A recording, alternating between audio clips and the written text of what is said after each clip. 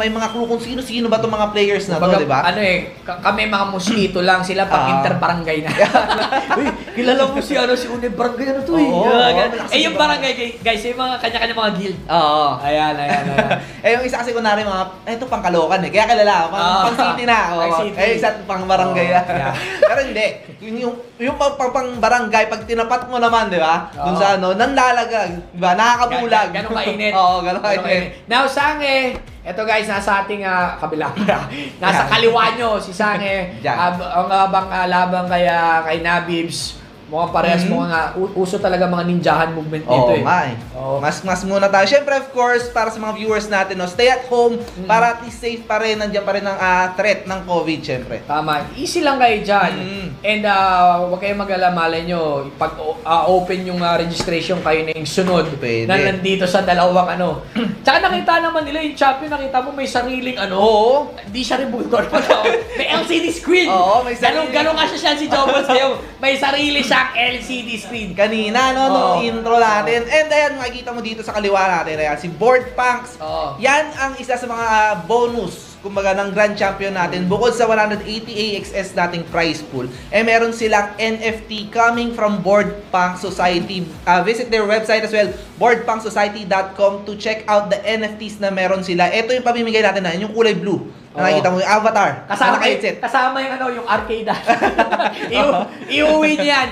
So make sure to check out ang ating uh, board pangs as well as na rin Mhm. yung Cryptomoto TV. Oo. Kung uh, gusto yung uh, chumek ng mga murang uh, weth, Yes. kindly check, i-type in nyo lang yung uh, Aling Marites yan Actually, kahit ako minsan, nak- nakabili na ako eh. Oo, so kahit hindi, kahit hindi ako bumibili. May Aling Marites ma- ka. oo, nakita- Mag-check ka lang presyo, no? Oo, check lang, check lang. Oo. eh pag check ko ng presyo, wala pa, wala pa. Ah, sabihin nila break muna Ah. balik kami ng 1 mga ganun Ayan, ayan. So make sure, and yun yung pinaka-legit.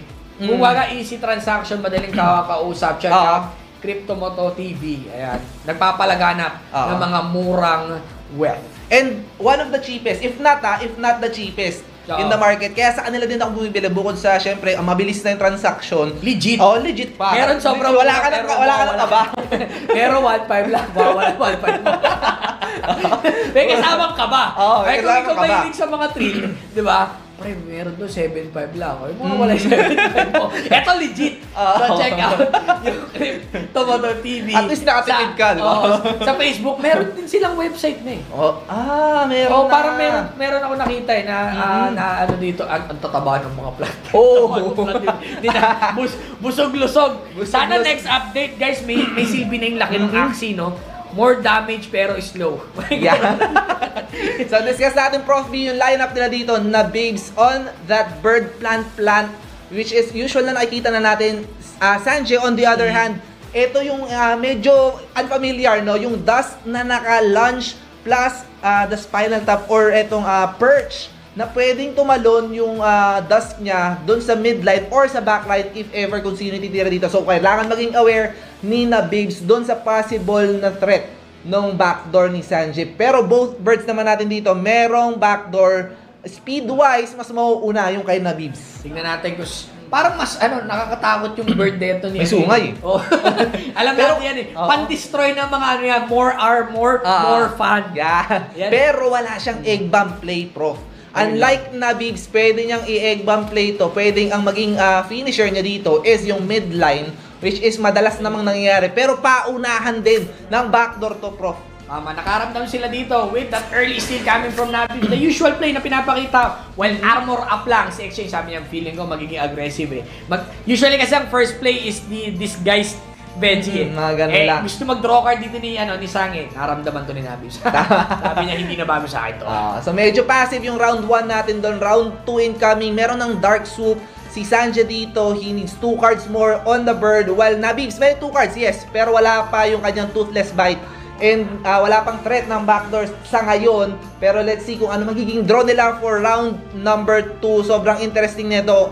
Ah, hindi naman actually sure win, no? Kung Mhm. sino yung makakauna sa bird, eh. Kasi yung midline nila, parehas possible, parehas pa rin namang malakas when it comes to 1v1. Kasi yung midline ni Sanji dito has the champ. Tapos may zero cost na Nemo pang activate yung, champ. Yung scaly lunch, ang ano Mhm. niyan is, ano, di ba? Ah, chain. Oo, kaso wala siyang ibang, Oo. wala siyang Pero, pang-chain dun eh. Pagka wala, kasi may mga nagtatanong kanina, parang pa- para sa, sa single. Minsan kasi kinukuha Mm. rin nila yung ano eh, parang armor eh. Oo, high shield kasi high, high shield, ah, decent damage na pwede. Mm. Eto na, chinelas na naman with that steel dealing or living with a 5 energy, pwede na mag-wild. Etong tropa natin dito, Team Ricards na dito, ang likod going in Sapat for the ba? jump mill, plus that carrot with a 104, 62 life para sa side dito. Ni Nabis buhay pa rin with a double disguise. Makukuha ba? Kala ko may critical with a double Mm. energy.